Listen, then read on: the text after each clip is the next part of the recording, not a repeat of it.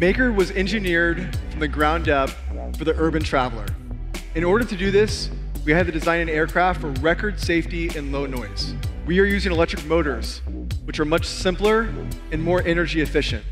As we designed the aircraft, safety was our number one goal. We can tolerate an entire battery pack system failure or two motor failures and still fly the mission safely. We have designed the propellers on the aircraft specifically for low noise. We'll be traveling at that altitude at 100 times quieter than a helicopter. So when we designed Maker, we thought about the urban traveler. Plenty of room here for a full set of luggage. You could push it right in. If you stretch out, plenty of room, no problem fitting in here.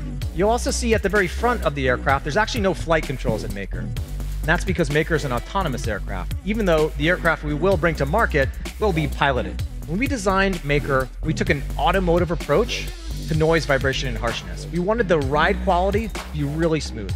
We also designed our flight controls to make sure we could have a really stable, smooth flight from takeoff all the way to landing.